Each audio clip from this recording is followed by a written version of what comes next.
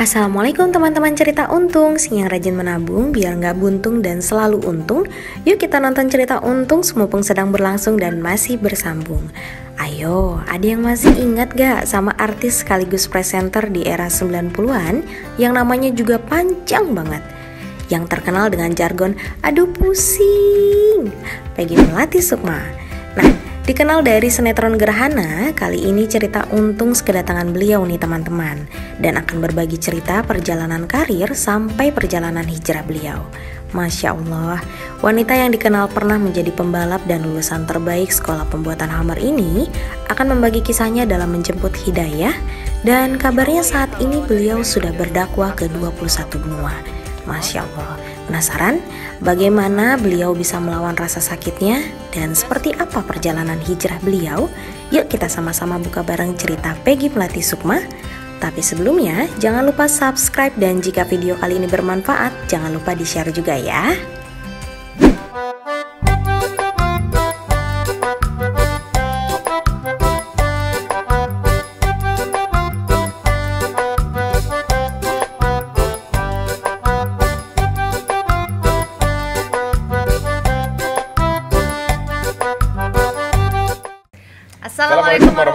Wabarakatuh. Alhamdulillah kembali lagi di Bukber Untung. Ya. Dan tamu kita tentunya juga teman-teman uh, adalah seseorang yang menginspirasi apa namanya setiap episodenya kita akan berikan kepada teman-teman semuanya. Kali ini, waduh, ini luar biasa ya karena kalau sepak terjang di dunia keartisan itu udah udah di atas Aduh, Masya udah Allah sebelum ya. kita udah ada udah ada duluan gitu ya di pertelevisian Indonesia Benar. ya. Dan Ah. beliau juga udah eh, terjun di dunia entertainment ini semenjak umur 15 tahun. Benar. Itu aku lagi ngapain ya? Dua tahun Oh itu. iya, jadi terasa memang sudah tua ya. Langsung kita ketemu dengan Teh Peggy Melati Sukma. Assalamualaikum Teh. Waalaikumsalam warahmatullahi wabarakatuh. Masya Allah, senang akhirnya main ke tempat Ari sama Feni. Alhamdulillah kita yang alhamdulillah. selalu beruntung Sama pipi ya? banget. Mimi pipi. kita yang beruntung teh didatengin Masya Allah. Dan- membawa keberkahan Ini ya. yang menarik tentunya juga teman-teman nih mungkin kita bahas dari dari Teh Peggy namanya kemudian jadi Hadijah. Siti Khadijah. Masya Allah. Masya Allah. Nah ini tentunya juga nanti kita akan uh, urut sampai sana, tapi di awal dulu nih. Eh, Teh Peggy awalnya nih langsung ke dunia entertainment nih. Itu siapa yang ngajak? Apa emang emang cita-cita atau gimana? Hmm, apa ya awalnya udah. jadi sebetulnya sih Ri, em, Teteh itu kan datang bukan dari keluarga yang eh, sosial ekonominya tinggi lah ya. Hmm. Jadi relatif kami keluarga yang amat sangat sederhana gitu. Hmm. Jadi orang tua tuh dari kecil mementingkan yang namanya pendidikan Hmm. karena mereka merasa ya itulah yang mereka bisa kasih gitu ya sama anak-anaknya Hmm. sebagai modal nanti untuk anak-anaknya juga survive gitu ya di tengah-tengah kehidupan rimba raya Hmm. dunia begitu. Nah kalau mama dulu memang eh, fokus sekali gitu eh, di urusan agama. Oh, ma- oh, Justru Udah dari ya, dulu ya. dari dulu sebetulnya Hmm. dari ya dari sejak kita kecil lah eh, ya kadar Allahnya kan Mama memang eh, keturunan Arab kan, Teteh kan Oh, iya. Arab. Iya, Atamimi kami keluarga Atamimi. Dari mama tapi Oh. kalau ayah eh, Sunda asli. Heeh. Nah, dari garis ayah ya tentu keduanya mementingkan urusan agama ya, tapi eh, ayah betul-betul menekankan urusan pendidikan Hmm. eh, formalnya gitu. Jadi singkat katanya lagi di antara activity teteh waktu kecil itu selain tentu hal-hal yang berkaitan dengan pendidikan agama seperti ada guru mengaji, terus Hmm. ikut cerdas cermat eh, Islami, lomba eh, apa? tilawatil Quran waktu Oh, kecil dari tuh dulu begitu tuh udah sebetulnya gitu terus iya ya? tapi habis itu melanglang buana kan di tengah-tengah perjalanan astagfirullahaladzim Eh, ibrohnya sih ini sambil langsung loncat ya ibrohnya ya bagi keluarga-keluarga muda yang masih juga punya anak-anak yang kecil ya usia-usia keemasan itu ya harus fight deh buat menanamkan ya nilai-nilai ketauhidan ya. agama keislaman Quran. Karena ya Al-Quran itu Allah turunkan sebagai huda ya Allah turunkan sebagai syifa Allah turunkan sebagai nur. Jadi kalau kita betul-betul pernah secara serius menanamkannya kepada anak-anak kita ya itu kan kalam Allah ya nggak akan hilang alirannya begitu Oh. walaupun dalam proses perjalanan hidup manusia tersebut semisal tentu saja Allah datangkan ujian ya naik dan turun jalannya belok dulu dan seterusnya tapi kalau memang kalam Allah itu pernah ditanamkan berarti kan ada Di dalam. di dalam hati ya, Iya. terpendam ya. Iya, Oh. iya. Singkat kata sih seperti itu. Nah, kemudian kembali lagi eh, jadi banyak activity Ri, dari Hmm. kecil itu yang sifatnya ekstrakurikuler juga. Nah, salah satunya yang berkait dengan seni. Entertainment, heeh. Dari situ sebetulnya pintunya jadi terbuka karena eh, activity yang terkait dengan seni itu seperti latihan olah vokal ya, terus kemudian latihan ikut kelas-kelas acting. Zaman dulu tuh masih kecil. Nah, dari situ terbuka lagi pintunya. Kan dulu kan TV cuma satu. Iya. Ya, Iya. cuman uh, TVRI ya? Iya, TVRI aja. Jadi kalau misalnya oh TVRI butuh pemain anak-anak gitu ya misalnya. Maju deh. Mereka kan pasti cari dari sanggar-sanggar. Ah, nah, iya, sanggar-sanggar itu benar. kan buat kitanya itu kan activity yang kayak ekstrakurikuler kan. Iya. Yang artinya di luar uh, Sekolah sekolah. gitu. Informal. Jadi ya udah dari kecil nanti ikut gitu ya, ada Oh. casting, ada ini, ada itu. Ya udah perjalanannya tuh membawa terus terus terus kepada eh, ya tampil di TV dan seterusnya sampai kemudian ada TV swasta untuk yang pertama kalinya. SCTI ya. Iya, Kak. enggak. Waktu itu TPI kalau teteh nggak salah. TPI dulu atau CTI dulu sih? Lupa deh pokoknya salah satu deh ya. SCTI lu, SCTI. RCTI dulu ya? Oh iya mungkin RCTI. Nah waktu RCTI baru mengudara tahun pertama atau tahun kedua aja tuh teteh waktu itu berhasil tuh lolos casting dan castingnya sama almarhum Om Arifin Senur, masya Allah. Allah, Om Arifin Sadar dulu SCTI. Iya bikin pro- bikin Waduh. bikin produksi namanya sebuah pintu sebuah kalbu. Heeh. Terus jadi kayak kayak itu sih zaman dulu kan ada film Huxtable ya keluarga Huxtable. Nah itu Bill kayak Cosby ya. Iya kayak iya Bill Cosby nah itu Oh, kayak versi gitu, Indonesia-nya ya? iya kayak versi Indonesia nah Teteh jadi salah satu anaknya gitu di Hmm. nah itu startnya dari situ itu 94 deh atau 93 ya pokoknya startnya dari situ deh karir Oh, profesionalnya ya, ya. kalau sebelum itu sih banyaknya casting-casting ya kayak untuk TVRI kayak untuk kemudian dulu juga Daber Heeh. Dabar juga. Masih kecil Dabar. Semuanya ya kayaknya ya. beratus-ratus iklannya waktu kecil Dia- Masih kecil itu. iya Daber Jadi VO Dabar. Daber. Hmm, Oh, memang. Iya, Daber iya, terus kemudian stage ya, karena dulu Heeh. ya TV kan cuma satu, Ri. Heeh. Karena TV cuma satu, jadi another uh, opportunity-nya itu kan di atas di panggung. Nah, Kemudian? terus Teh Peggy abis itu kan eh, di awal nih, ini kan perjuangan meniti Hmm. karir nih masuk dunia entertainment. Sampai akhirnya benar-benar jejak, maksudnya kayak eh, udah Karir. diakuin Iya. karirnya dan segala macam itu Karir butuh karir pertama sebagai dari seorang nolnya Peggy. aja, gitu. dari nolnya yang ketika mulai ekstrakurikuler itu ya, yang activity seperti itu sampai dengan bisa disebut dikenal gitu lah ya di industri mungkin 10 tahunan perjalanannya aja 10 ya tahun kan ya. Misalnya gini ya kalau nggak salah kan teteh waktu kecil itu mulai activity-activity seperti itu mungkin usia 7 atau 8 tahun Mm-mm. yang kayak suka jadi pohon dan segala rupa itu 17-an pasti ada pokoknya ya kalau Iya. misalnya, oh, oh.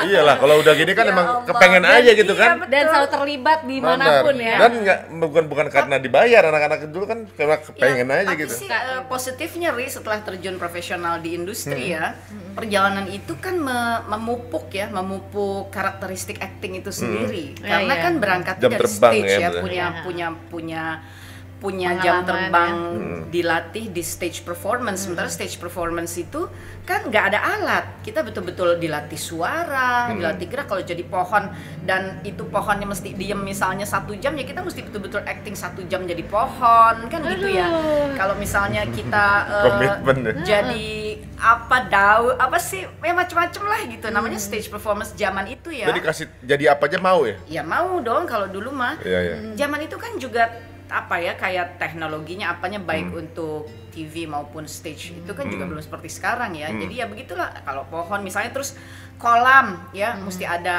eh, suasana airnya apanya kayak binatang-binatang di kolam ya itu kita jadi ada pernah jadi kodok misalnya Oh, jadi jadi kalau kita loncat-loncat terus gitu. Astagfirullah pokoknya Waduh, itu kita masih ada nggak foto-fotonya tuh?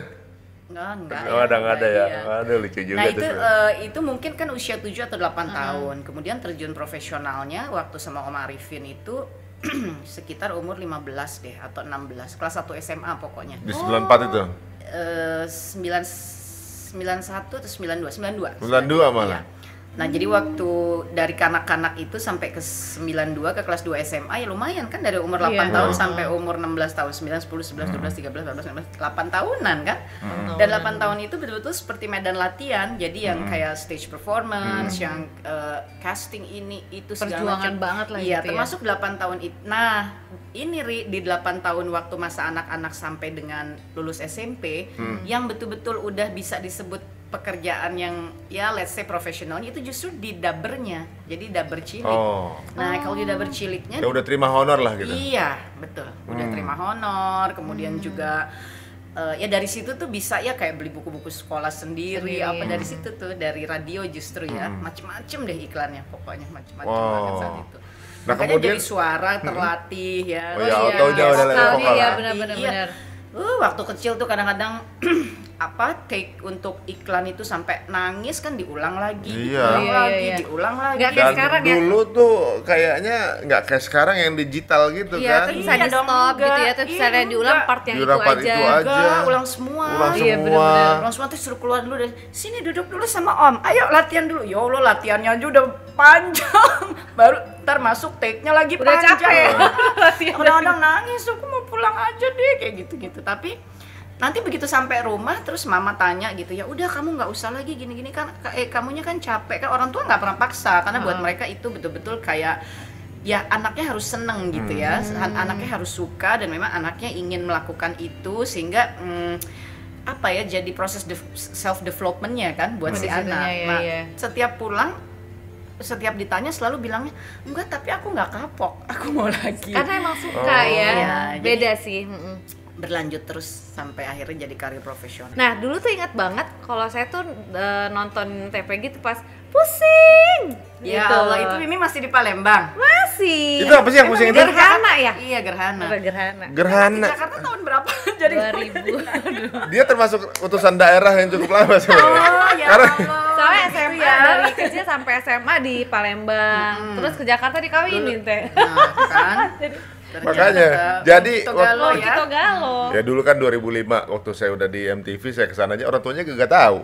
Soalnya nggak nyampe MTV Iya, nggak ada. Makanya jadi Aduh. banget.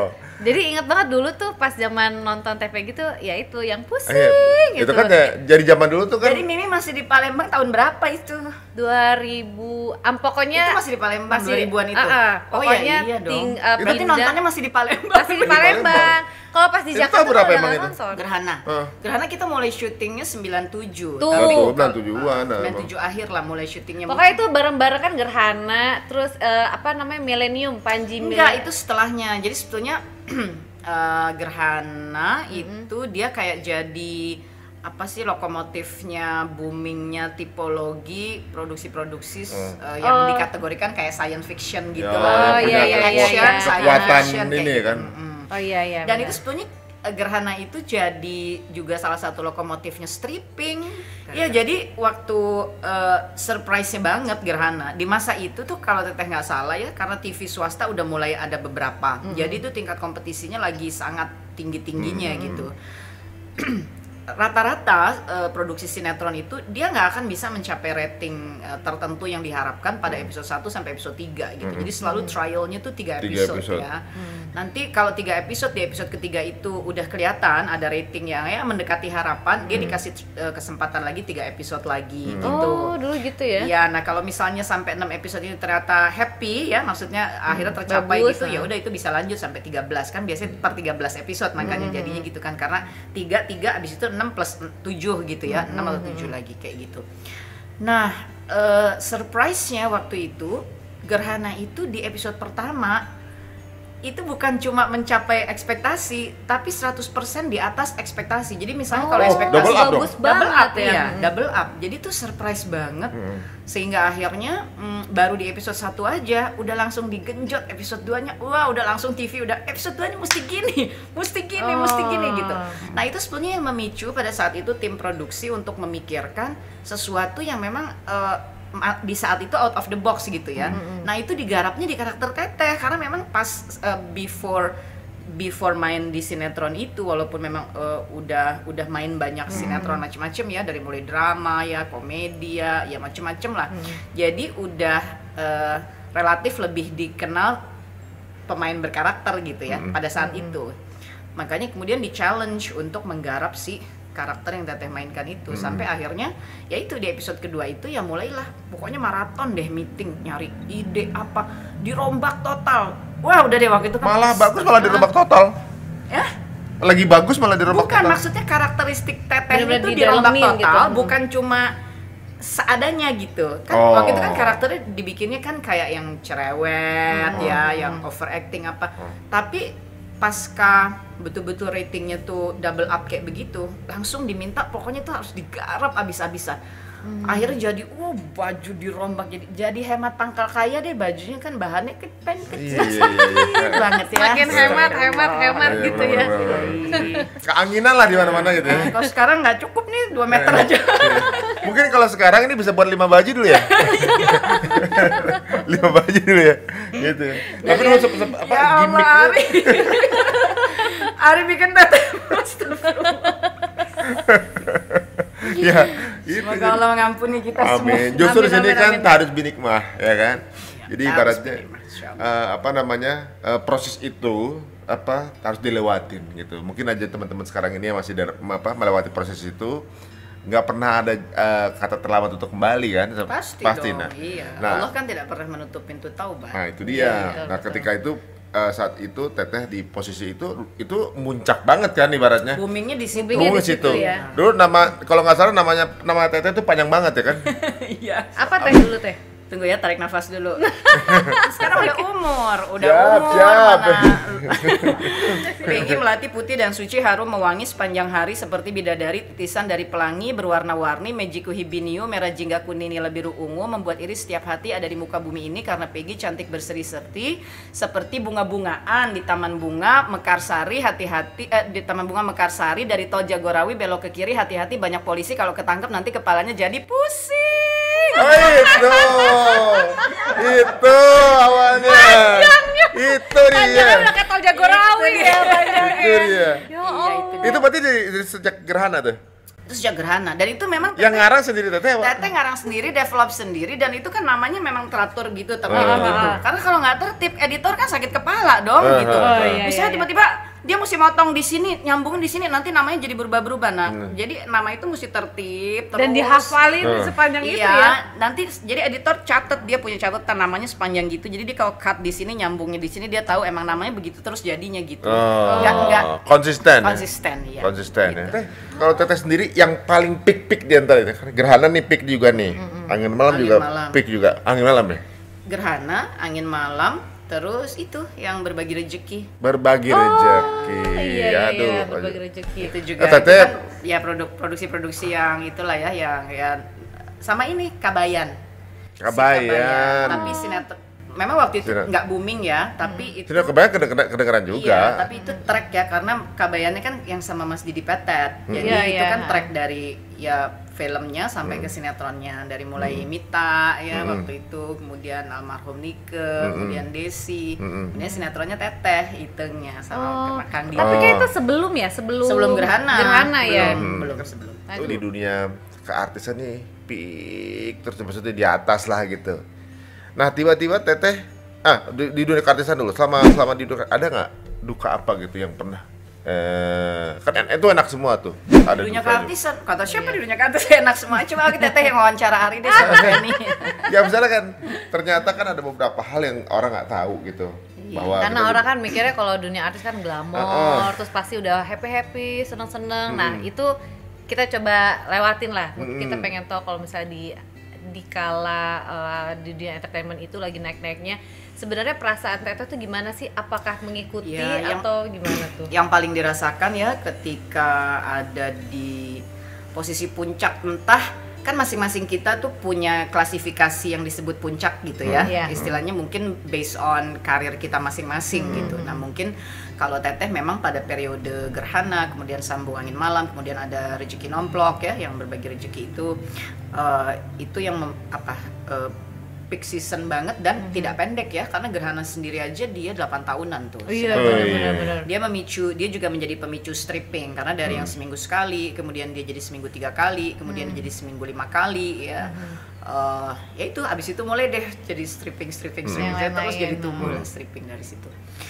Eh, yang paling terasa sih pasti hmm, kehilangan privacy itu udah pasti ya. Oh. kehilangan privacy merasakan seperti memang diri kita udah bukan milik di, milik kita lagi Hmm, gitu oh, ya. publik udah ya. iya udah milik orang banyak yang apalagi mungkin pada saat itu teteh karakteristiknya kan seperti itu ya di uh, sinetron. Jadi karakteristik yang digemari tapi juga dibenci gitu ya. Iya. bikin orang juga gemes nggak suka tapi juga kangen pengen lihat gitu ya. Iya. misalnya kayak begitu yang disebut kehilangan privacy itu benar-benar kehilangan privacy Ri karena di periode itu misalnya ya salah satu contoh eh, Idul Fitri gitu susah sekali untuk bisa betul-betul tenang gitu bersama keluarga. Karena apa?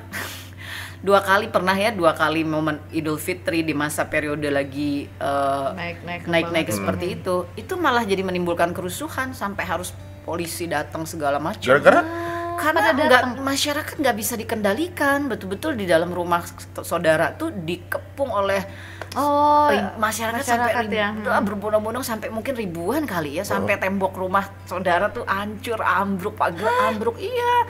Sampai akhirnya harus polisi datang terus harus dikeluarkan lewat jalan yang Beda. eh, eh, beda terus dibawa wah udah pokoknya kocar kacir itu ngalamin seperti itu kan ini berarti memang dan Karir tuh kerja keras banget. Orang lihat kan tinggal nonton aja. Iya. Eh, yang Nah, tadi mereka Teteh cerita ya. ya.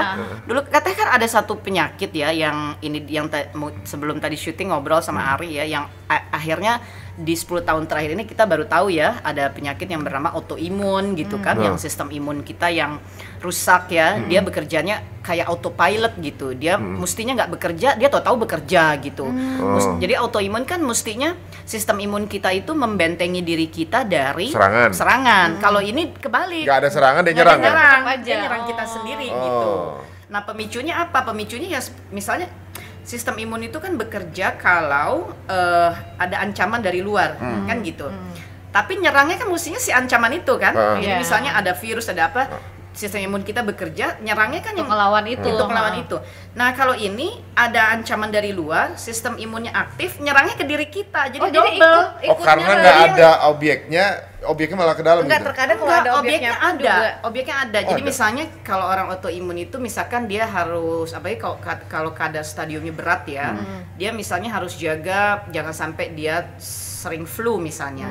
Kalau sering flu kan berarti ada ada, Hmm. Ada faktor virus flu-nya. eh, virus dari luar kan.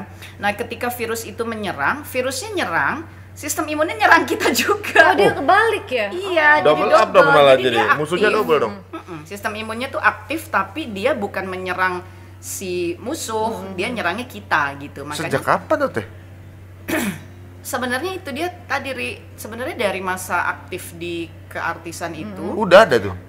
Udah macem-macem tuh teteh ngalamin macem-macem Oh. ya. Jadi mungkin teman-teman dulu juga apalagi teman-teman makeup deh, teman-teman makeup, teman-teman kostum itu yang paling Oh, yang tahu, tahu deh. ya. Iya, karena Orang kan belakang ya layar tahu ya. sendiri Hmm. kan. Maaf-maaf ya, kan dulu pakaian teteh ya begitu itulah ya. Hmm. Eh, bolong di sana, bolong di sini, boek di sana, boek di sini gitu. Padahal nih misalnya ya kita syuting terus eh, pakai HMI gitu. Hmm. HMI-nya banyak misalnya kayak gitu. Kan dia panas sekali ya. Hmm. Nanti nggak berapa lama itu melendung-melendung ini melendung, ini melendung, ini melendung. Nah itu kan pasti yang bantuin ya mau nggak mau orang makeup, Orang orang, makeup, orang kostum kostum. kan pasti oh, yang ngipasin ya apa ngebalurin apa yang gini Emang yang berasanya panas gitu teh di kulit? Iya. Wah, Hamil kan kencang tahu banget, kenapa Mi. gitu ya. Hmm. Misalnya kayak gitu. Nah, terus kalau kita syuting di studio-studio TV, tahu Hmm. sendiri dinginnya kayak apa, apalagi Pan, Indosiar. pan, gitu. panas salah, dingin salah. Sampai sekarang kok itu masih dingin Indosiar. banget. Iya. luar lu ada kameramen yang kan kita kameranya Masih ya gede-gede sampai gitu. sekarang ya. Yang gede-gede kameranya yang gede-gede gini kan. Masih dingin banget. Iya, ya Allah, dinginnya itu luar biasa deh, nggak tahu ya. kayak kameranya anti shock gitu. Nah, itu kalau syuting di situ misalnya tiap eh cut dulu, cut dulu. Udah nggak kuat nih, udah Hmm. bengkak-bengkak, udah itu ya, keluar dulu, keluar dulu, keluar dulu, cari dulu. Jadi kalau dia kumatnya karena dingin, mesti cari dulu panas. Panas, kalau iya. dia kumatnya karena panas, Panas, cari mesti dulu cari dingin. dulu dingin, dingin. kayak gitu. Oh. Pokoknya nggak Apa alergi deh. atau apa gitu teh? Nah dulu di di diagnosanya alergi ya, kemudian Hmm. dilakukan tes tes tes tes dan dianggapnya pokoknya semua has- semua jenis tes alergi itu positif. Jadi Positif, maksudnya hmm. alergi semuanya. Hah? Alergi semuanya. Ya debu iya, ya panas iya, ya Hah? dingin iya, ya makanan ini ya Aduh. itu ya. Aduh. Pokoknya Nggak bisa semua hasil tesnya. oh. aler- nah terus nih gimana ya hidupku gitu. Hmm. nah sempat ada momentum itu harus suntik tiap hari nggak boleh kelewat selama enam bulan kalau nggak salah waktu itu ya. Enam bulan apa tiga bulan pokoknya everyday nggak boleh kelewat. Teteh ada di mana ada eh, yang dikirim ya misalnya perawat atau eh, kalau tetehnya bisa teteh datang gitu pokoknya nggak boleh kelewat. Pernah juga ngalamin ini nah ini yang sering nih muka ya pikirnya dulu tuh jerawat aja gitu. Pikirnya oh ini mungkin jerawat nggak mungkin karena make makeup ya sem- tapi kan makeup nggak pernah pakai punya Orang punya lain. orang makeup ya. Padahal alat makeup pakai sendiri Oh. sponge pakai sendiri semua pakai sendiri. Jadi sering mukanya itu infeksi. Bukan jerawat sebenarnya akhirnya. Jadi dia infeksi Oh. pecah kemudian jadi nanah kemudian jadi darah kemudian jadi koreng di muka di mana. Padahal di muka orang kan ya? yang nonton nggak tahu ya dan maaf maaf ya bapak bapak produser kalau sekarang nonton. Dulu kan produser pada nggak mau tahu dia. Mungkin orang cuma lihatnya oh iya terkenal oh iya duitnya banyak oh iya ini. Udah nggak tahu gua menderitanya. Kayak apa produser juga nggak mau tahu. Pokoknya lu mesti syuting mesti tayang Itu kalau nggak kuat bisa stres juga tuh. Kalau setiap harus begitu orang bukan stres lagi. tuntutannya tuntutan harus bagus gitu. sakit luar biasa jadi waktu dulu nah dulu kan teteh tuh terkenal tuh sebagai madam wig ya Wah. pakai Oh iya iya iya. heeh. sebenarnya sebagai di antaranya tuh buat mengatasi itu karena kalau udah lagi kumat dan koreng di mana-mana dan udah benar-benar nggak kuat gitu ya untuk di makeup jadi cuma bagian-bagian muka yang memang nggak ada korengnya nggak ada penyakitnya itu yang nggak ada darah nanahnya itu yang ditutup pakai makeup.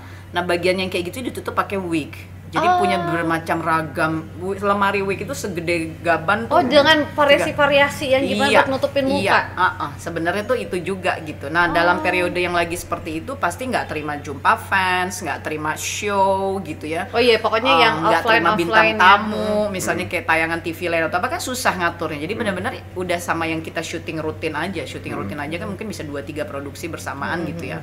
Kalau ngambil yang lain-lain kan susah menjelaskannya kan kondisi begini begitu.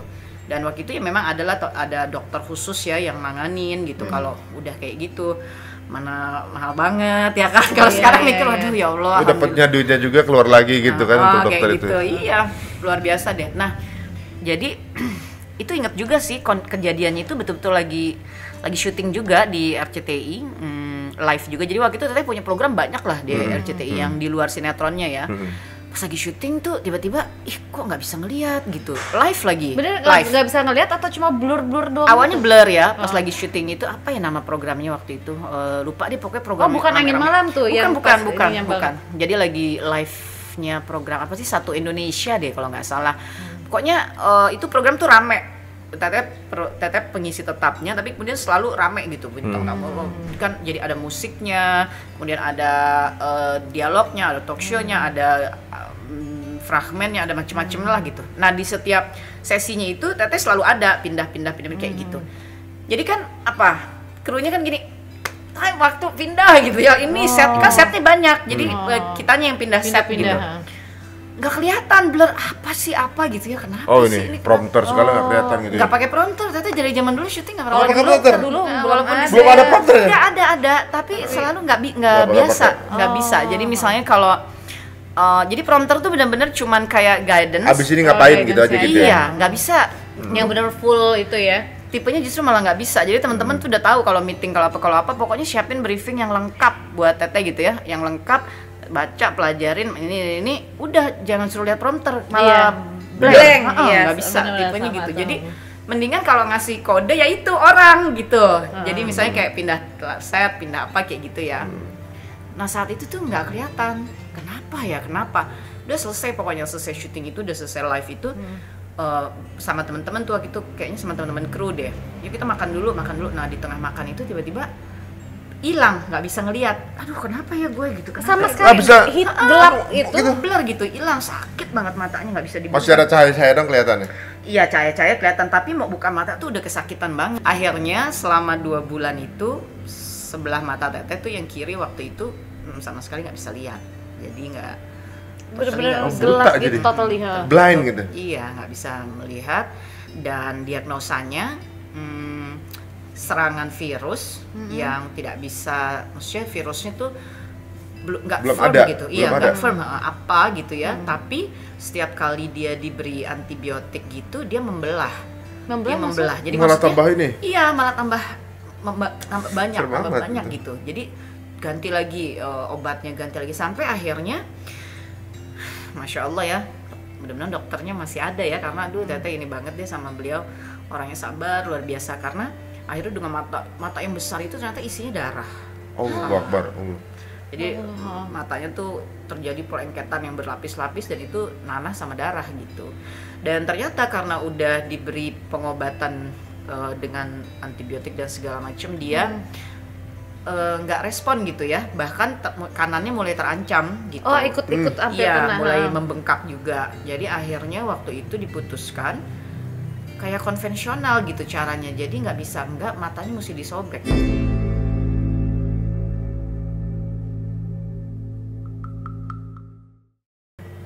Jadi yang merapatnya itu yang karena dia penuh darah sementara dia mesti disobek, mesti dikelek, Keluarin. disobek Oh, terus darah keluarin, ha. Iya, mesti benar-benar dikeluarin eh, apa tuh lapis demi lapis yang pelengkatannya itu dia mesti dikorek ibaratnya gitulah ya. Hmm, tapi kan itu darah mata ya, mata kan Ya, sensitif oh. banget Iya ya. luar biasa memang. Oh, kok otaknya ngeliatin darah darah itu keluar? Ya iya dong mau nggak mau kan itu nggak bisa nggak bisa dibius total. Iya, Nggak mata dibius mungkin ya. nggak bisa jadi biusnya biasa lokal ya? kayak gitu aja. jadi sempat mengalami itu dan alhamdulillahnya sih Bisa lagi lihat. eh, enggak. Jadi sampai sekarang emang mata kirinya cuma tinggal 30% dari Oh, sejak- da- Sekarang dari- ini ya sampai sekarang. sampai sekarang. Mm-mm. Jadi waktu itu kalau pakai kacamata gitu teh, enggak nggak enggak efek dong Mm-mm, kan namanya udah rusak kan udah Hmm. rusak tapi Oh. ketambahan lagi minus jadi yang dipakein kacamata itu minusnya sama silindrisnya tapi kalau bekas kerusakan matanya itu Udah ya nggak bisa. Itu nggak bisa ya.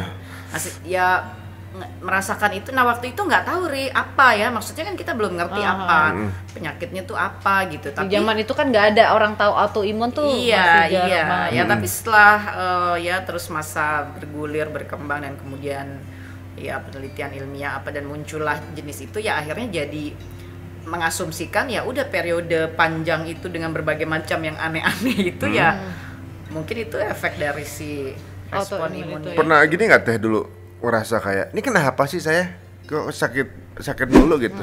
Apa kepikiran mungkin ah, ah. dikirim atau apa gitu? atau kan apa mungkin ada apa saya punya salah apa nih kenapa sih apa nanya apa nanya ke, ke Allah gitu atau gimana apa sih yang diresponnya saat itu ketika kok bertubi-tubi melulu sakit nih gitu Eh, sayangnya memang eh, dan ini juga mungkin ibroh ya buat kita semuanya. Kenapa sih Allah Subhanahu wa taala selalu eh, mengulang-ulangi ya di dalam Al-Qur'an bahwa eh, dunia itu penuh dengan tipu daya gitu ya. Dunia itu melalaikan. Jangan membiarkan diri kita menjadi eh, hamba Allah yang selalu mengikuti kepada hawa nafsu ya. Surah Al-Jati ayat 23 kan Allah udah menyebut.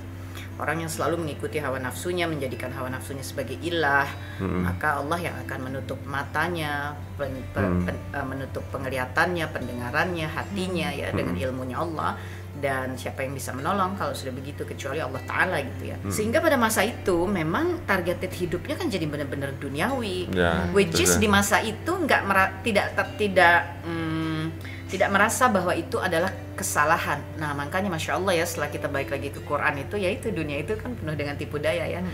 Surat Kahfi ayat ketujuh Allah sudah menyampaikan dunia ini adalah perhiasan dan sengaja Allah buat seperti itu untuk menguji mana hamba-hambanya yang Terpilih. tetap melakukan amalan yang terbaik kepada Allah gitu di tengah dunia dan segala perhiasan yang memang mengitarinya. Memang ya memang Allah memberikan itu gitu untuk kita.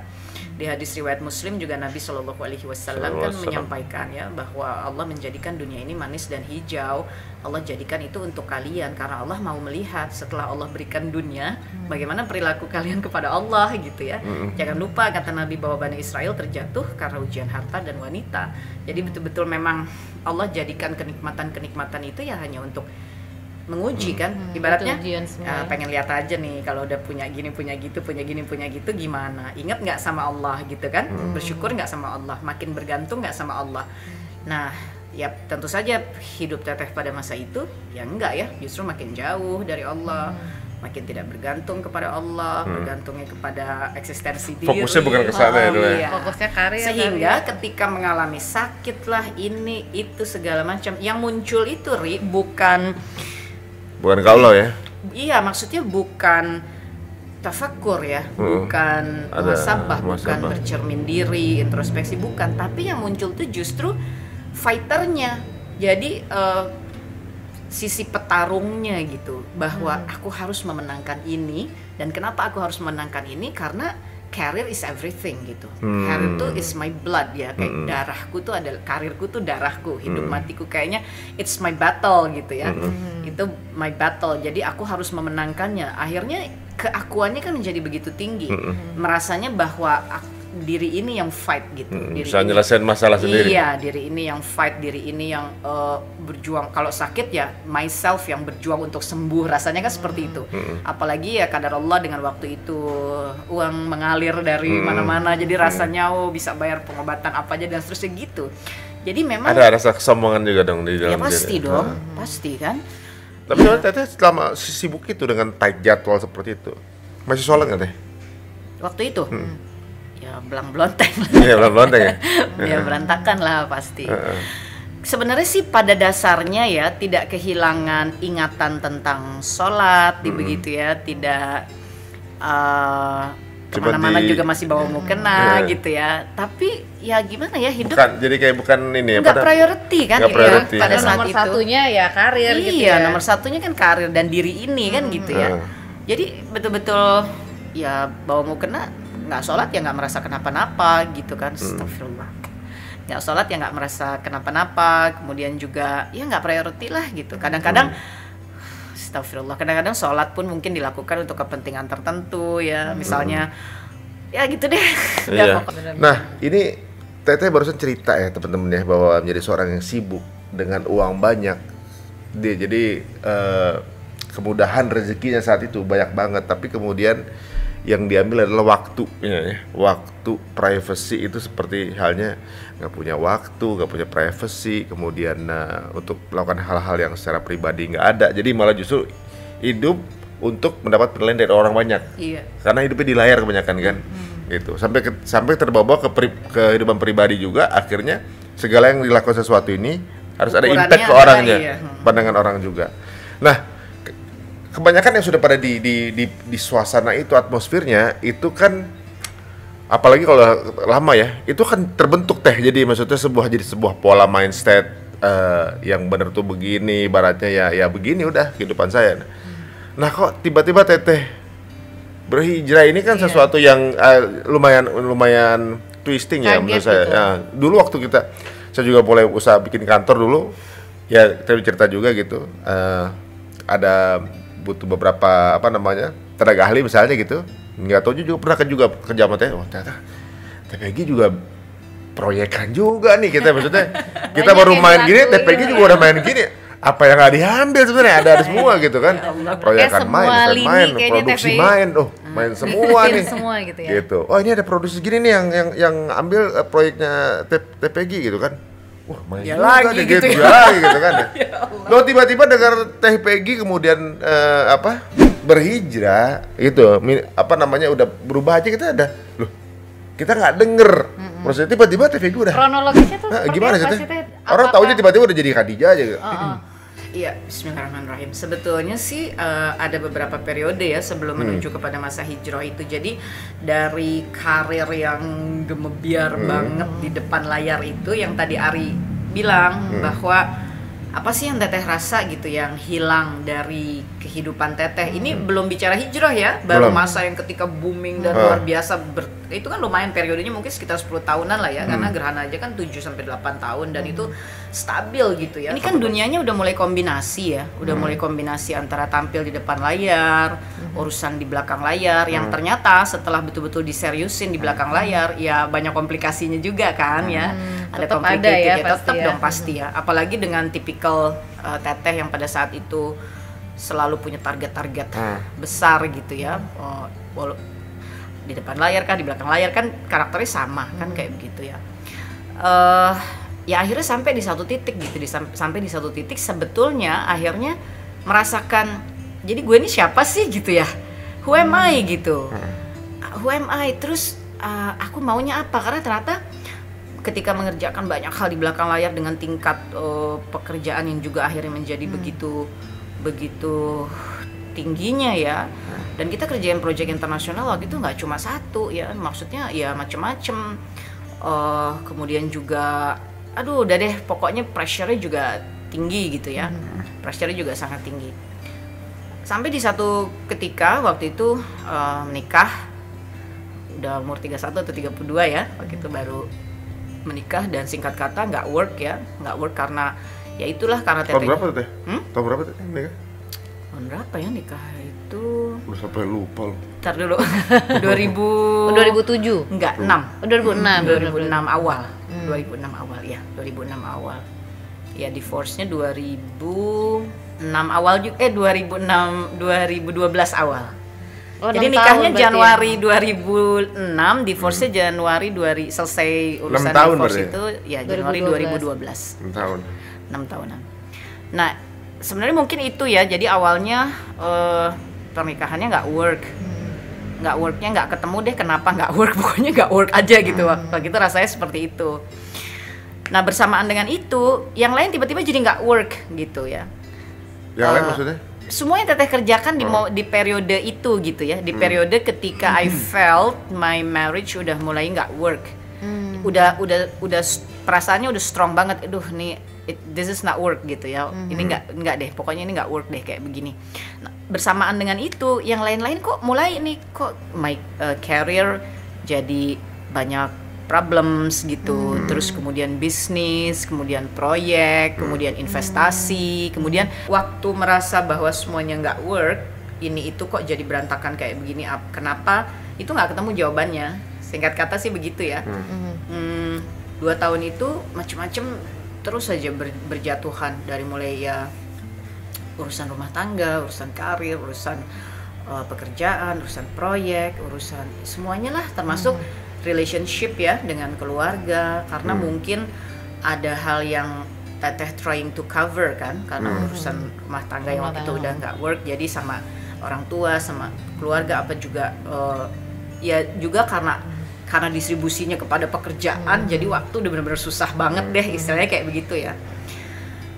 Udah ri jadi dua tahun itu eh, mi eh, ri benar-benar yang eh, mempertanyakan kembali ya kepada diri ini nah ibrohnya sebetulnya ini ngobrolnya ngobrol santai kan kalau sama Ari sama Mimi. Kembali lagi ya ibrohnya jadi balik nih ke masa waktu kecil. Karena during during the period of my career kehidupan yang seperti itu yang teteh rasa tuh ada satu yang nggak pernah berubah ya. Itu adalah orang tua ya.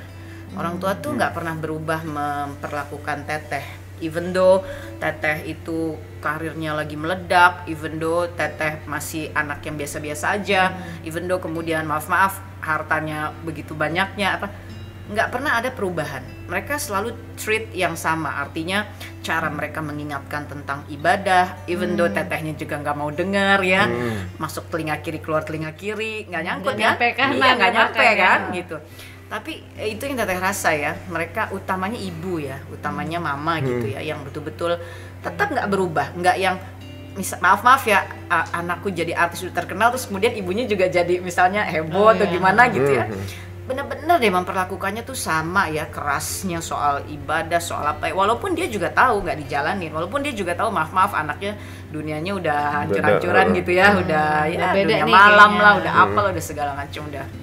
Eh iya akhirnya Teteh jadi bertanya waktu itu aku sebetulnya mau apa ya? Kalau kalau waktu berapa tahun sebelumnya pernah ada pertanyaan who am I? gitu. Nah akhirnya sampai di satu titik what do I want? gitu.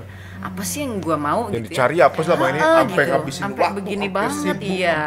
nah singkat kata akhirnya sampailah di satu titik kembali kepada memori-memori yang ditanamkan sama orang tua Masya Allah. gitu ya. Iya, jadi kayak ada perasaan rindu ya, ada perasaan kayak ada yang Kembali manggil gitu. gitu. Iya. Nah, yang manggil itu rasanya ayat-ayat Allah gitu. Yang terasa itu panggilannya itu adalah eh, ayat-ayat Allah. Jadi seperti terbawa lagi masa kecil yang ya masa kecil teteh kan juga sibuk ya karena dijadikan anak yang harus punya banyak activity sebagai modal gitu. Jadi ya udah deh eh, nyerah lah nggak tahu terserah nah itu nyerah Hmm. udah terserah Allah gitu akhirnya Oh. ketemu dekat kata itu ya terserah Allah Akhirnya. Ya Iya. Allah. dengan seluruh keadaan yang rupa-rupa itu dengan segala penyakit yang pernah dialami kondisi karir yang begini begitu terbayang deh tuh semuanya ya terbayang stage-stage di London itu terbayang deh berbagai macam program di Jerman di Amerika dengan ini ah, udah segala macam gitu ya sampai bingung sendiri nih mau apa sih sebenarnya ya mau apa gitu Apa sih yang dikejar apa gitu? Iya, kok at the end dengan semua perjalanan yang sepanjang itu kok muaranya malah berantakan semua gitu. Jadi itu belum pernah teteh alamin dalam hidup teteh yang sekian puluh tahun saat itu. Kalau nggak salah hijrah itu kan 2000 awalnya di 2012 ya prosesnya. Tapi mulai lepas landasnya 2013, mulai benar-benar belajar lagi apa segala macam itu betul-betul 2014. 2014. Waduh, ini jadi ini se- dari sepanjang cerita sama Teteh tadi itu seolah-olah Teteh dulu ngeraih itu semua yang udah di yang udah dicapai itu kan. Ngeraihnya dengan sebuah proses yang gimana dan nyampe juga tuh di pencapaian-pencapaian itu kan. Kemudian ada apa-apa ngerasa diri sebagai fighter. Iya. Dan ngerasa bisa ngelawan itu semua gitu. Dan ngerasa pasti ada yang kurang terus ya. Bener. ya? Ketika ngelawan ternyata ya nggak bisa menang juga gitu. Dan kemudian balikin lagi kan. Ya udah terserah Allah mau apa. Jadi ibaratnya kita kalau nggak melibatkan Allah ternyata ya nggak dapat apa-apa juga. Atau justru istidrat malah gitu. Nah itu sebetulnya yang kemudian ada satu ayat di dalam Al-Quran yang begitu membekas ya buat teteh surah Al-An'am ayat 44 itu ya di mana Allah Subhanahu Wa Taala uh, menyampaikan uh, barang siapa hambanya Allah yang sudah tidak mau lagi menyimak ayat-ayatnya Allah maka sesungguhnya aku buka pintu-pintu kesenangan baginya. Oh. Jadi Allah itu memberi peringatan kepada kita ya tentu dengan caranya Allah. Allah menyampaikan di dalam Al-Qur'an musibah ya. Itu kan cara Allah mengingatkan kita. At-Tagabun ayat 11 sesungguhnya tidak ada musibah yang terjadi pada seseorang selain atas izin Allah barang siapa menghadapinya dengan iman ya. Sesungguhnya apabila ia menjaga imannya maka Allah masukkan hidayah kepada hatinya. Ini kan berarti eh, Allah mau kasih hidayah, mau kasih petunjuk atau mau tambahkan, mau kuatkan tapi lewat jalan musibah.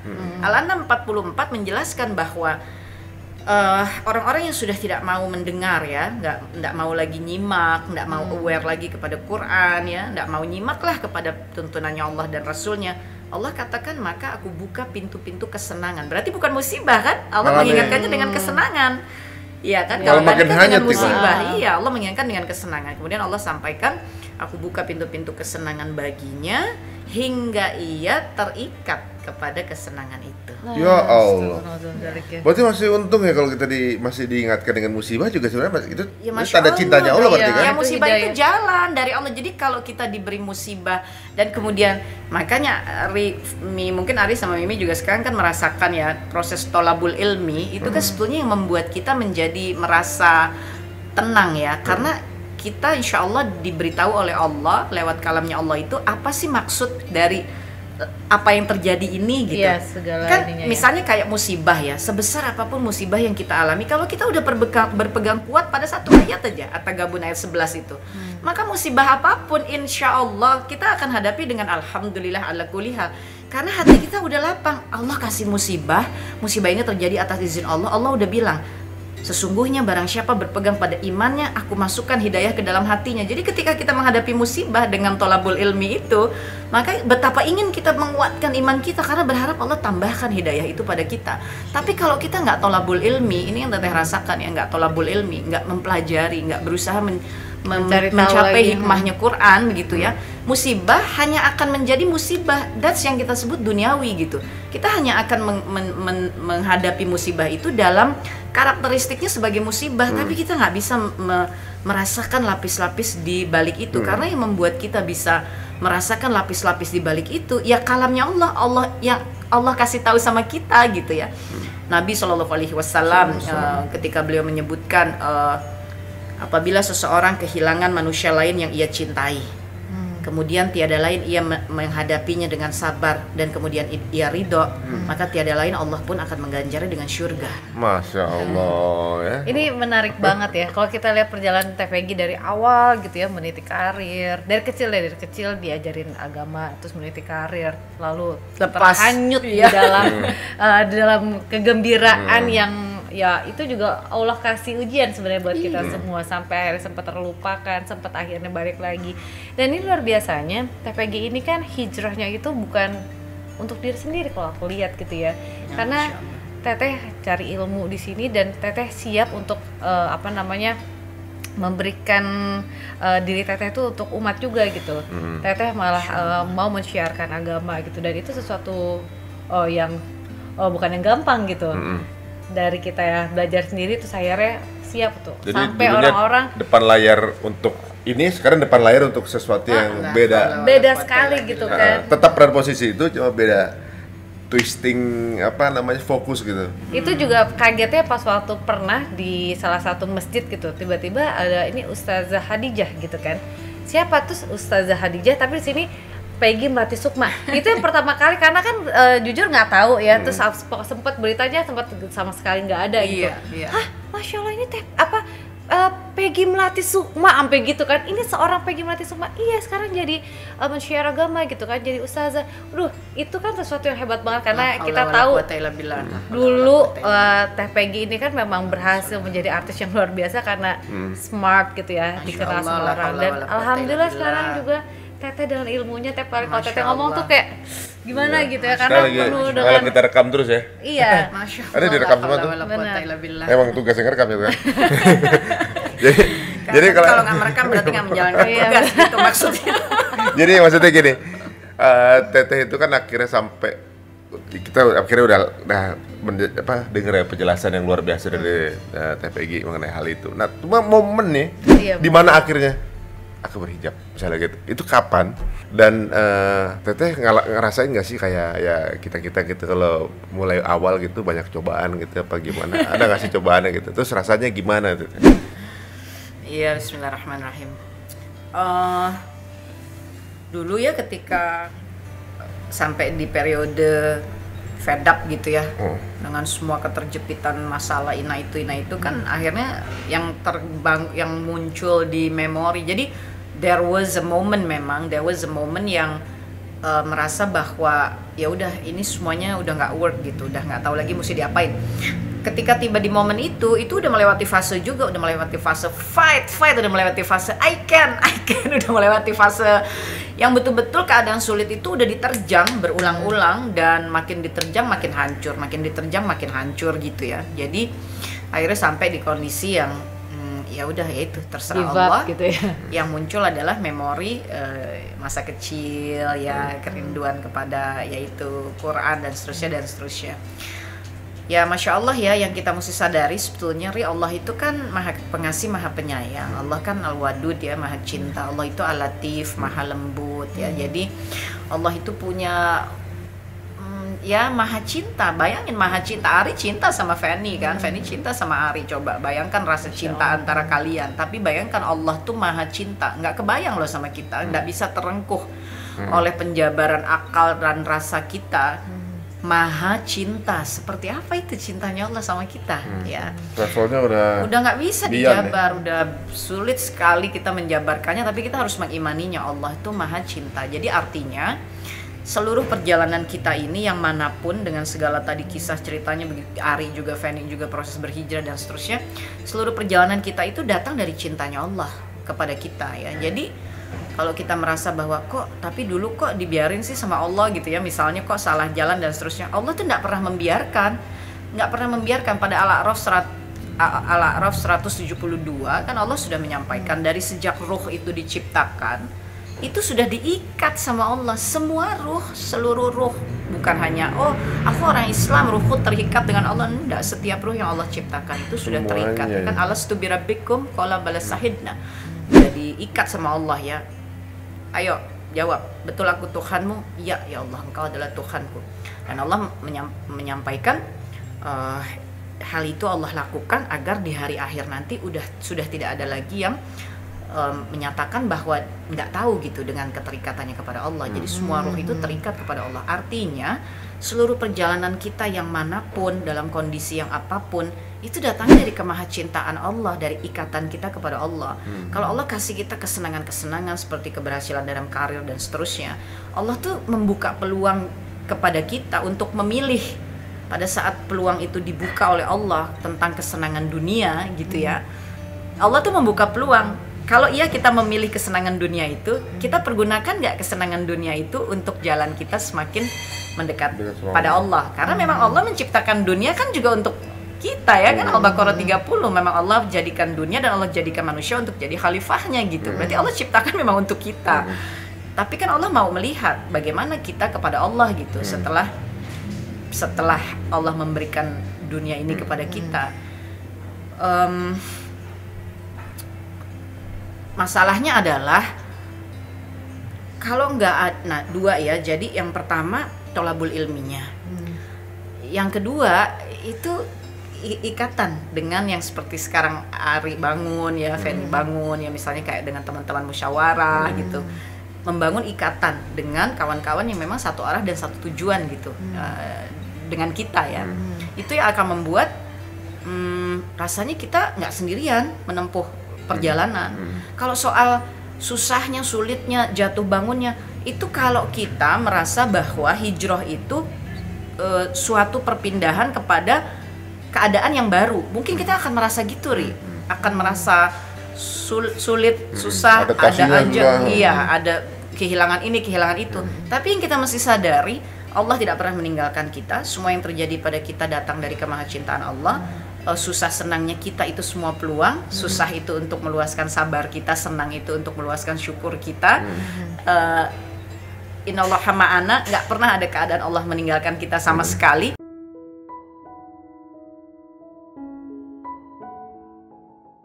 Dan hijrah itu bukan kebaruan. Hijrah itu pulang kepada Allah. Makanya Oh. salah satu buku teteh itu ya Robbana aku ingin pulang. Hijrah tuh pulang. Jadi bukan another One another new step gitu. Iya bukan, itu itu pulang gitu. Karena memang pada dasarnya kan kita hamba Allah, ciptaan Allah, ruhnya terikat kepada Allah. Jasadnya Al-Mu'minun 14 Allah yang bikin. As- Al-Hajj ayat 5 Allah yang bikin. Allah kasih tahu bagaimana Allah bikin jasad gitu. Jasadnya buatannya Allah, miliknya Allah. Ruhnya terikat kepada Allah.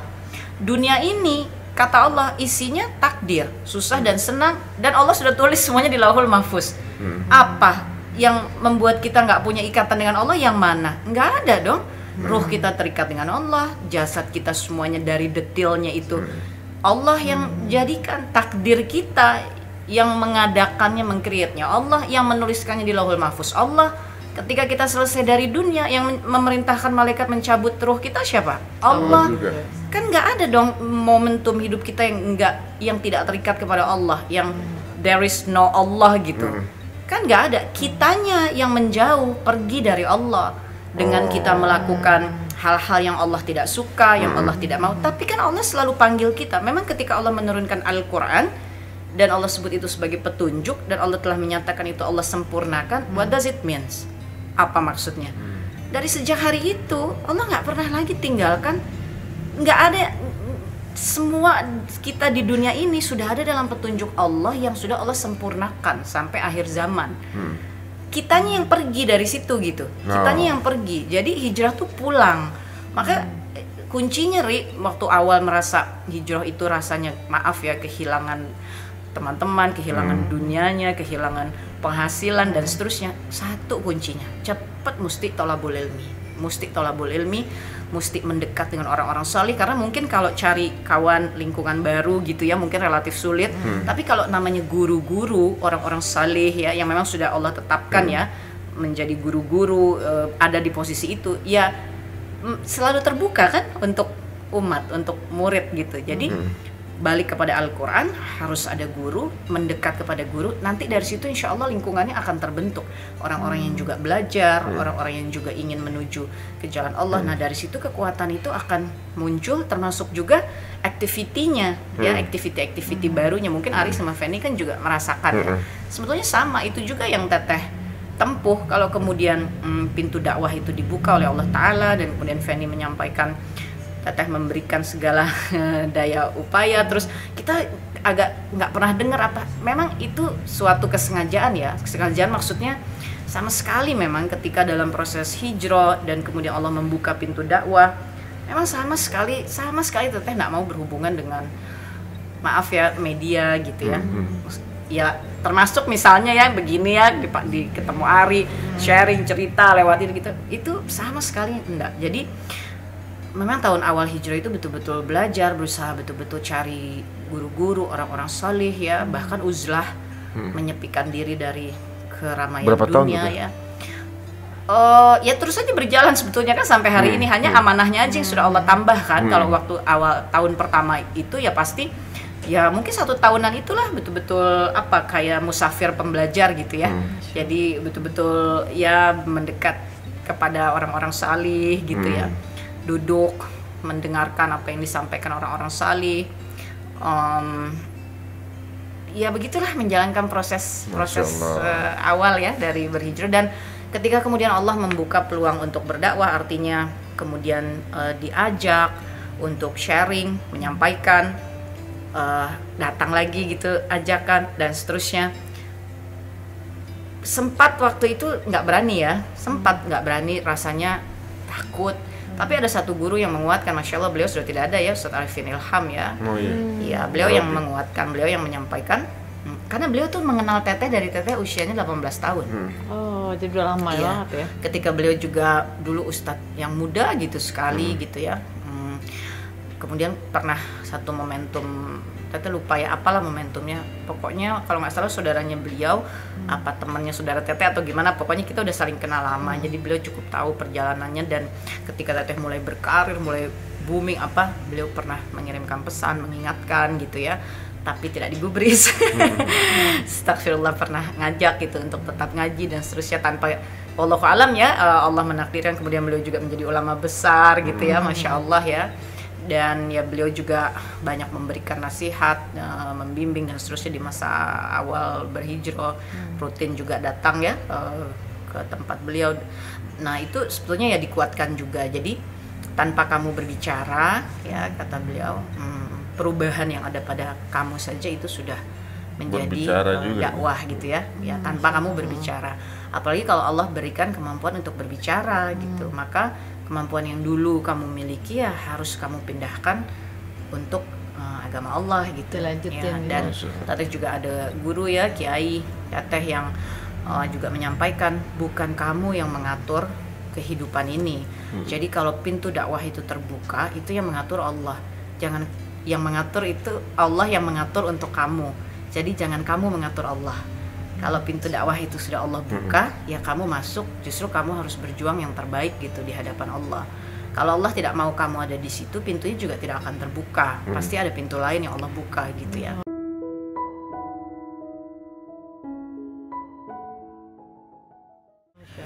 Ya udah karena disemangati oleh guru-guru ya belajar terus kalau nggak ngerti nanya ya apa yang mesti disampaikan karena kan basisnya ya kita kan basisnya bukan pesantren ya bukan santri kan bukan yang merunut dari nol gitu ya jadi kan mesti dibimbing kan apa yang disampaikan apa yang jangan dan ketika kita menyampaikan ya sampaikan saja apa yang memang Kita tahu ya. Iya kan Masya seperti itu. Allah. Balighulani walau ayah. Ya udah. Jadi kalau ada sesuatu yang kita sukai diambil sama Allah, Hmm. Allah perintahkan barang siapa yang menjaga hatinya. Ya di dalam hati itu kan ada iman ya. Maka Allah akan ganti dengannya lebih baik. Iya. Allah. Jadi kan semua kuncinya kan eh, petunjuk Merinding. Allahnya gitu. Jadi enak Oh kehilangan gitu Ya kita cari petunjuk Allahnya Terus kalau kehilangan Allah nyuruhnya apa ya gitu Hmm. Oh Allah suruhnya jaga hati. Berarti waktu kehilangan jaga hati kita. Kan waktu kehilangan sedih Hmm. Kecewa apa. Nah itu kan ujiannya dari Allah. Tapi kan Allah bilang jaga hati. Strong, kuat. Gak apa-apa Allah. Aku ridho gitu ya Misalnya nih ya Hmm. actingnya. Pokoknya kita jaga hati lah sebaik-baiknya. Allah bilang Allah akan ganti dengannya lebih baik gitu kan. Jadi yang kita mesti cari kan apa nih petunjuk Allahnya. Oh kalau dizolimi, disakiti ya apa An-Nahl 126 boleh kita membalas kalau kita dizolimi, disakiti asal takarannya sama, nggak boleh lebih, nggak boleh kurang. Tapi kemudian Allah bilang sesungguhnya kalau kamu mau tahu yang Allah lebih sukai itu kalau kamu sabar Nah, sesungguhnya itu yang di hadapan Allah terbaik jadi kan ketika kita merasa Lakonnya dizolimi Allah. yang tadinya marah nggak terima. ah. dasar oh, pokoknya kayak gitu ya. Tapi kalau kita tolabul ilmi Hmm. gua mau ngebales ingat kata Allah balesnya harus sama takarannya gimana ya? Gua ngukurnya takaran yang sama Iya. kan gitu. Gimana aku mengukur takaran yang sama tapi kata Allah Allah lebih suka kalau aku sabar ya udah aku lebih ambil mudah sebenarnya. yang ya. Ya kan jadi ada pet- kan dengan Quran tuh ada petunjuk ya Iya, iya, terbentuk gitu loh karakteristik kita tuh ya yang bentuk kan Allah gitu ya. Iya, iya. Nah, itu sih sebetulnya yang teteh yang teteh rasakan jadi kehilangan, Hmm.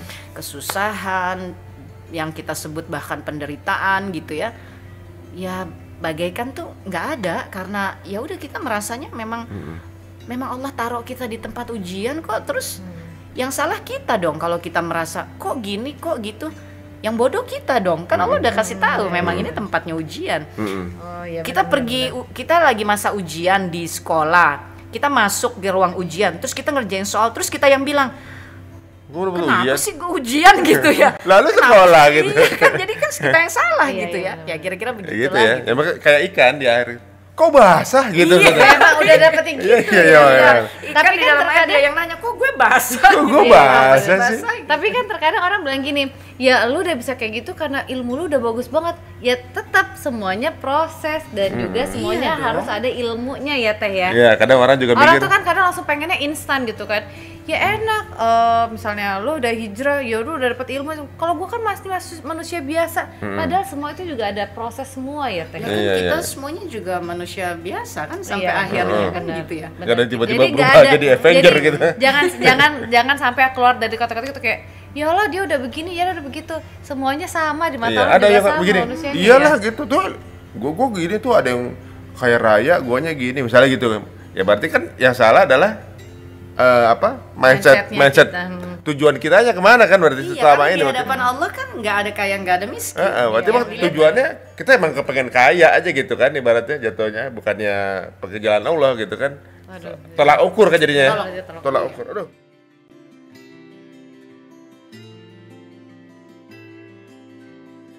Kan teteh sempat ada nge-pause nggak nggak nggak apa namanya Nggak keluar ke gitu. permukaan.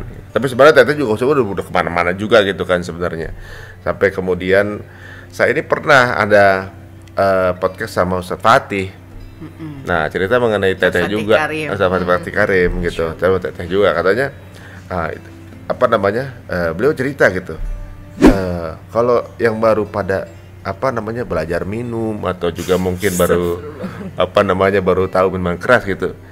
Eh, teh Peggy itu sebenarnya paham itu tapi tetap tapi berhijrah gitu. Nah, gimana tuh? Iya. hmm, Assalamualaikum Ustaz. Iya jadi eh, ya Aris sama Feni juga tahu lah ya kehidupan yang gemebiar dan gemerlap itu kan termasuk juga dengan berbagai hal di dalamnya ya yang eh, ya untuk dunia yang kita jalani dulu hal-hal seperti itu normal lah ya misalnya minuman dan lain sebagainya itu gitu. Akrab lah dulu ya. Iya, Oh. iya kan Teteh pernah ada di dunia yang seperti itu ya, sama seperti kalian juga mungkin. Tapi waktu itu tuh hmm, apa ya? Karena mungkin kebiasaan juga, sehingga kepingin tahu gitu, kepingin sampai kepingin bisa ngerti cara proses membuat si minuman minuman Itu, gitu tersebut ya. gitu, dan karena tipikalnya sekali lagi dari dulu tuh ya memang ya fighter gitu ya Ngulik terus lah ya. ngulik Heeh, heeh, kayak tahuannya tuh besar, gitu Besar, ya. iya. Dan nggak cuma pengen tahu aja tapi kayak expert gitu di dalamnya. Iya, kepingin Iya sih. ya pengen nguasain, pengen tahu seluk beluknya gitu. Nah, cuman karena eh, itu kan sifatnya bukan pendidikan formal ya, jadi akhirnya ambilnya kan eh, course ya non formal education ke UK waktu itu untuk mempelajari eh, yaitu proses pembuatan bia begitu ya, benar-benar dengan eh, traditional way gitu untuk eh, pembuatan tersebut. Ya lika-liku selak beluknya deh pokoknya ya termasuk juga uh, bisnisnya dan seterusnya gitu ya jadi mempelajari secara keseluruhan ambil short course dan dan itu jadi lulusan yang terbaik juga Ay, ya Allah.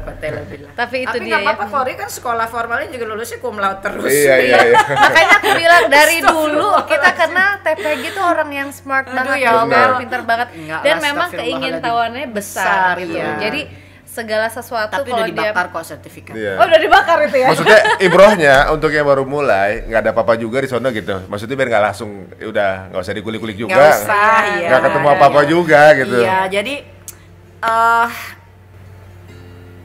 dunia yang seperti itu ya, apalagi minuman dan lain sebagainya ya, eh, nggak akan menyelesaikan apa pun yang kita kira penyelesaiannya di situ. Kan ada orang misalnya Larinya capek, stres gitu ya, atau misalnya badannya nggak enak atau apa, ah pakai itu. Enggak, itu nggak akan menyelesaikan, nggak akan menyelesaikan apa pun ya pada pada ada ya. badan kita.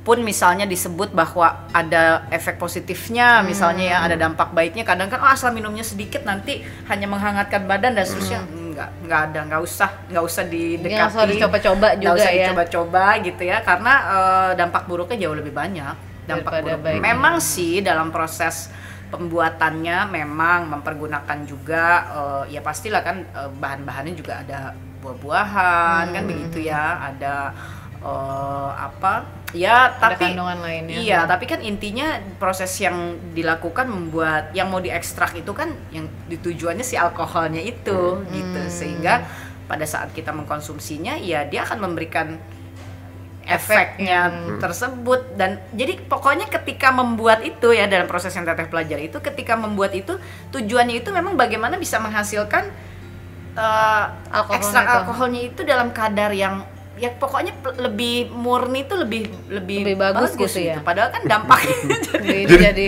Jadi kayaknya level itu level terbaik gitu pa- pa- Iya pada saat makanya itu. kan jadi ya udah nggak mesti nggak mesti dikonsumsi deh udah ya ya, ya udah cukup di Udah. situ ya. Justru yang semakin baik itu justru jangan dikonsumsi karena berarti level makin tinggi.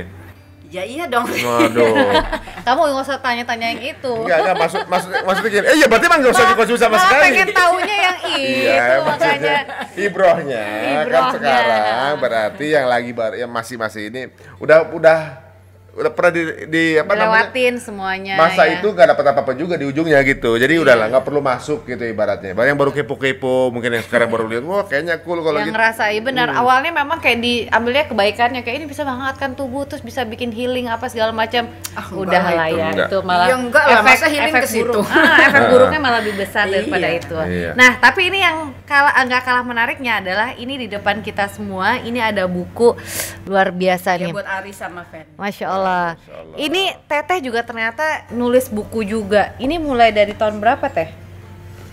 hmm, 2014 ya mungkin kalau nggak salah. Ah, 2013 atau 2014 jadi oh berarti abis hijrah tahun itu. iya tahun pertama hijrah udah mulai mencicil menuliskan. Memang Teteh tuh nggak bisa diem ya orangnya ya.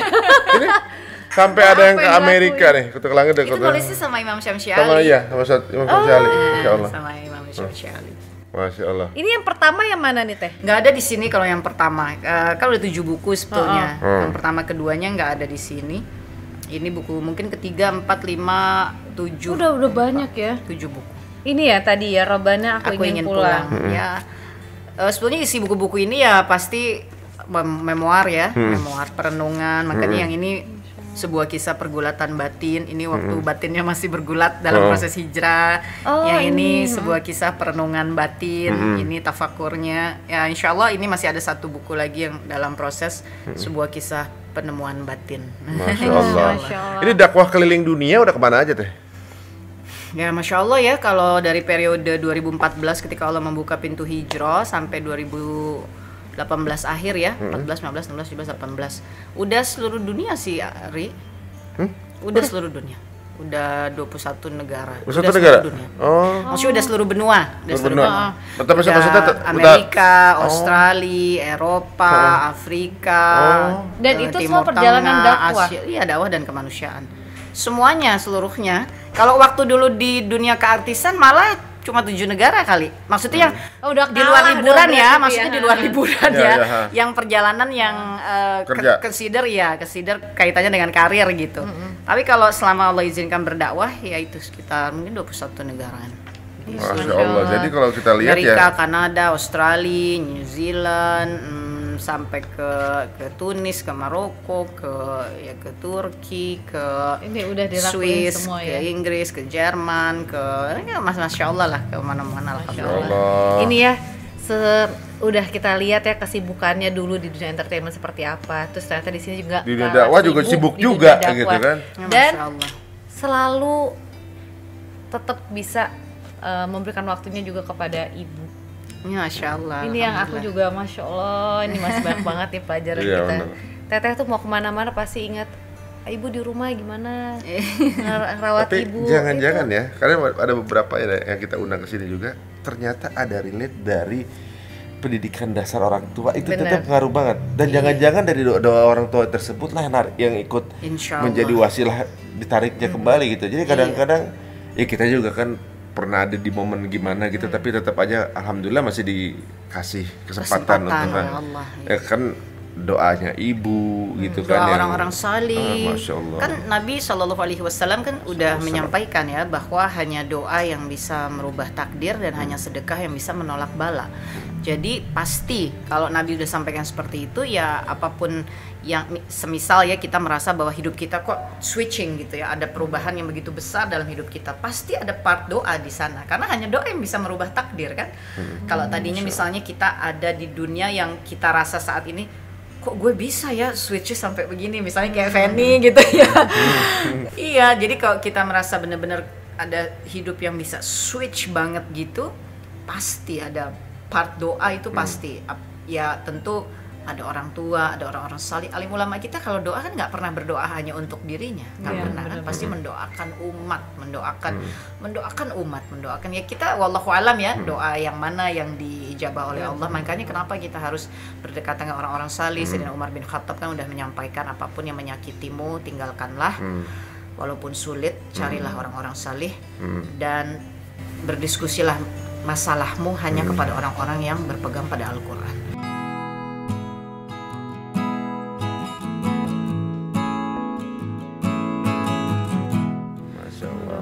ya masya Allah ya kita pengen curhat, pengen apa gitu atau ya jangan cuma kan kalau kalau gaul mau itu kan suka aduh pengen curhat deh yang penting hatiku bisa Bisa keluar bisa keluar lah. gitu. Ya enggak lah kan kita kalau dalam Islam udah diajarkan kita nyampaikan sesuatu itu membicarakan sesuatu hanya kepada orang-orang yang berpegang Iya. pada Al-Quran. Al-Quran, karena maksud tujuannya kan menyampaikan itu karena kita kepingin jalan kita tetap sesuai dengan Quran bukan sekedar kepingin hatiku lega. Kalau kepingin hatiku lega ya zikir aja. Iya benar Allah ya. bizikrillahi tatmainul qulub. Udah jelas kan? Hanya Iya, dengan benar-benar. berzikir maka hati akan tenang akan Masya Allah. tentram.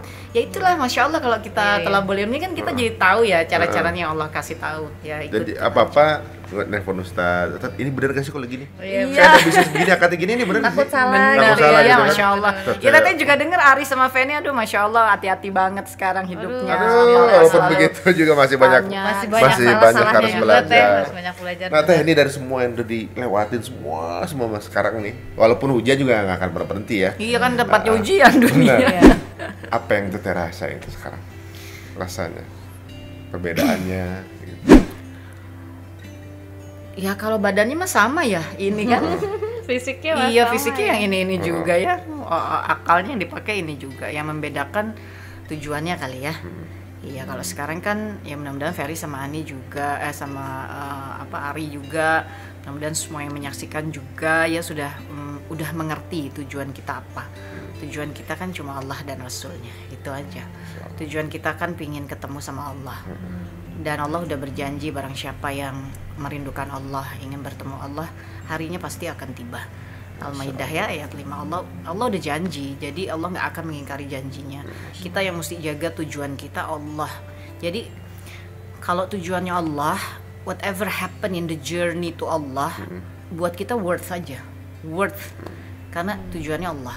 Jadi Allah mengambil apa pun dari kita, ya udah nggak apa-apa. Mudah-mudahan dengan diambil aku ketemu Allah. Allah menambahkan nih sesuatu kepada kita kita langsung minta tolong ya Allah jangan sampai apa yang kau tambahkan ini membuat aku jadi lupa kepadamu. Karena kita udah tahu tujuannya apa. Jadi overall dari semua journey ini ya akhirnya muaranya adalah ya memang hidup ini tujuannya cuma Allah aja. Dan dengan tujuan Allah itu insya Allah mudah-mudahan kita lebih kuat ya lebih sabar ya, lebih tabah, lebih tegar dalam segala kehilangan, dalam segala kepemilikan, dalam segala ups and downnya kehidupan ya. Ada yang diambil, ada yang ditambahkan. Ya kayak tadi Allah kasih teteh bisa berdakwah 2014 sampai 2018 21 negara, 32 provinsi ya, seluruh wilayah udah dijelajahi betul-betul bawa misi dakwah, misi kemanusiaan. Tapi kadar Allah di akhir 2018 orang tua teteh dua-duanya sakit keras. Tetehnya juga sakit beruntun gitu ya. Sehingga ya sama sekali dari 2019 sampai hari ini 2019 2021 sampai hari ini nggak pernah safar.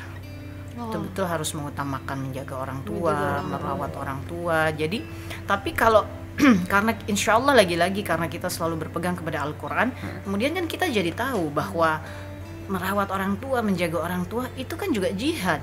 Dakwah itu jihad. Kemanusiaan mengurusi umat Islam itu jihad. Jadi artinya kan tidak ada yang hilang.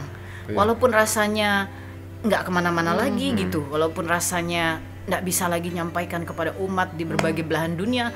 Walaupun rasanya nggak bisa lagi bawa misi-misi kemanusiaan secara langsung ya ketemu saudara-saudara kita bersentuhan langsung. Kan kalau mau diikuti yang namanya rasa itu rasanya ada yang hilang kan gitu. Tapi kan nggak boleh karena tidak ada yang hilang kalau kita berpegang pada Quran dan hadis eh, merawat orang tua. Semisal ya ini sebagai contoh saja gitu ya yang teteh alami. Merawat orang tua sehingga membuat kita tidak lagi bisa sebebas sebelumnya misalnya ya di dalam bahkan melakukan dakwah yang juga itu sebuah ibadah yang tertinggi di muka bumi ini ya rasanya tidak ada kehilangan apa-apa. Karena dengan berpegang pada Quran dan hadis kita langsung sadar ini juga jihad, Jihad. sama nilainya gitu. Nah ini sebetulnya yang insya Allah kita mesti terapkan di dalam sisa umur kita ya bahwa eh, kepada Allah kita selalu husnuzon dalam hidup ini kita selalu berpegang pada Quran dan hadis dan kita selalu mencari apa nih maksudnya Allah kirimkan ini? Apa nih nilainya di hadapan Allah? Masya Allah, Ini sepertinya mudah-mudahan teman-teman ya eh, kita dapat banyak sekali pelajaran yang bisa di-share sama teman-teman semuanya. Kalau merasa ini bermanfaat, mau silakan di-share. Ini Tapi penasaran aku ya sama, sama teteh ini apa ibu lagi orang tua yang doain teteh ke mana-mana kembali lagi ke ibu lagi. Teh ini terakhir teh. Misalnya ibu menyaksikan tayangan ini di di seberang sana gitu. Apa teteh yang akan bilang ke ibu? Masya Allah. Misalnya di kamera ini eh, ibunya teteh lagi nonton gitu misalnya. Wah, bapak ya? Nama bapak. Ya bapak kan ayah kan udah nggak ada Udah ya? ada.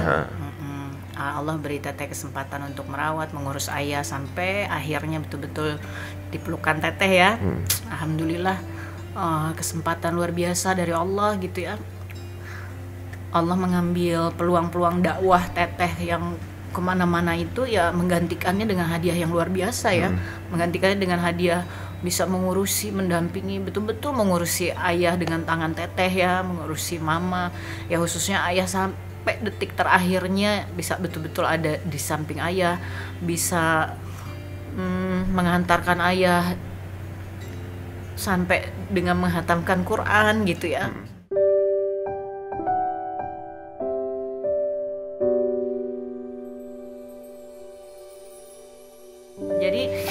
masya Allah ya rezeki itu nggak bisa dihitung buka sama sekali bukan materi ya, tapi uh, peluang-peluang luar biasa yang Allah berikan dalam keimanan kita.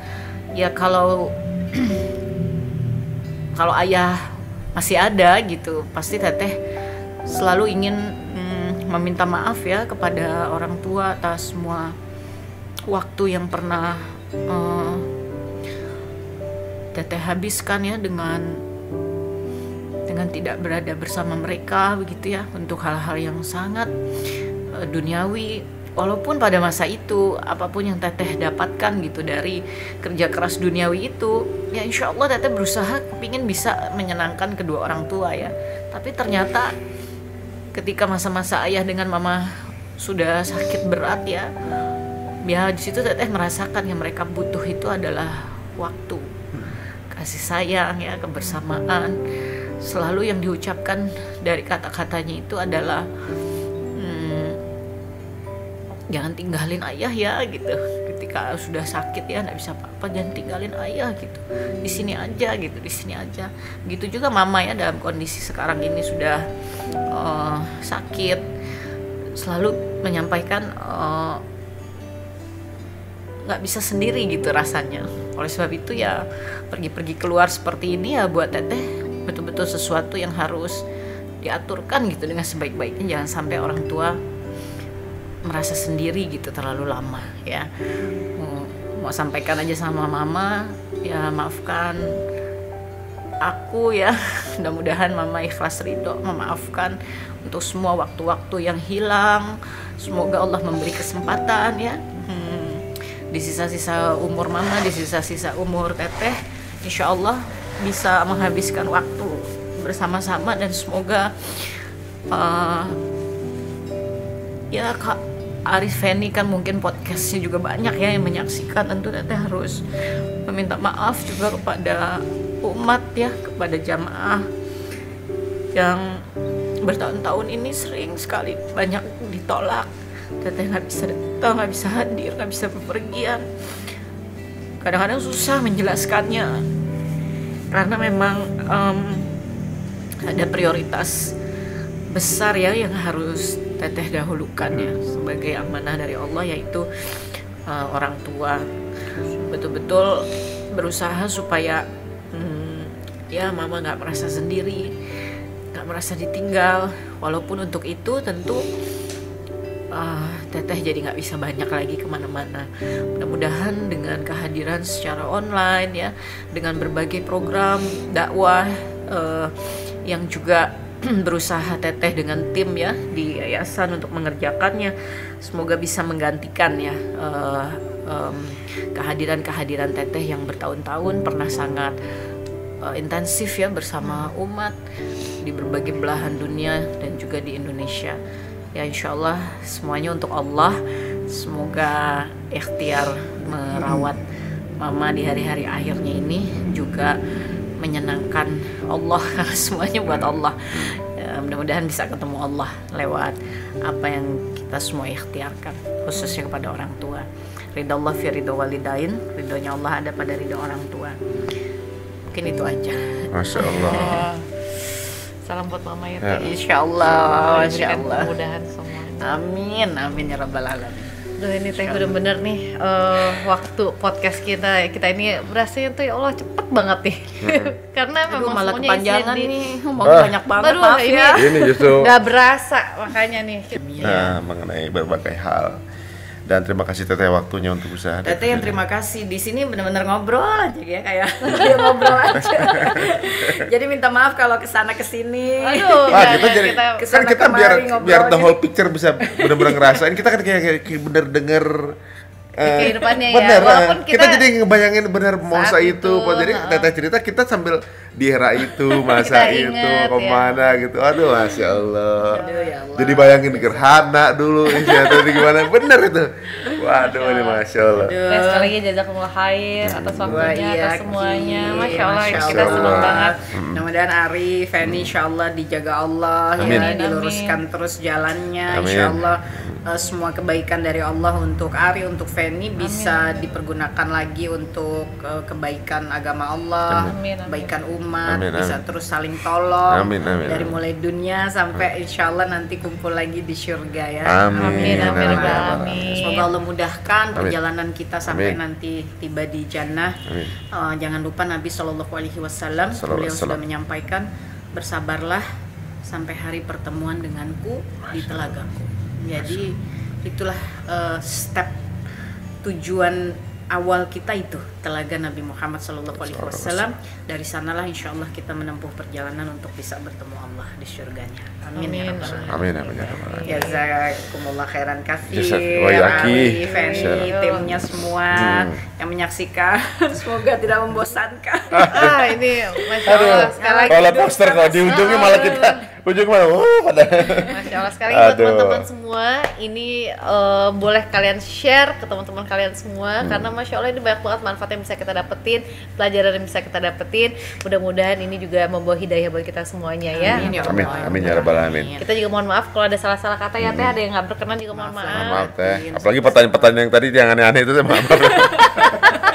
suka ke mana-mana nih ya ya udah kalau gitu kita pamit ya wassalamualaikum Assalamualaikum warahmatullahi wabarakatuh.